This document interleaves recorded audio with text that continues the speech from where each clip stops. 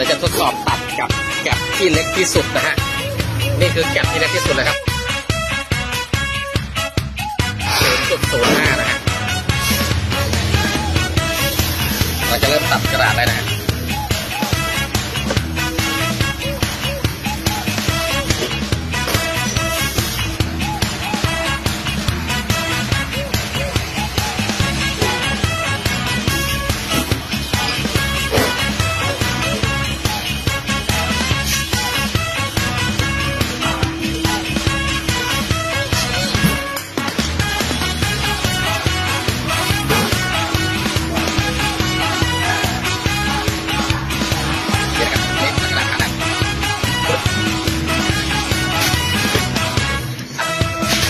Yeah.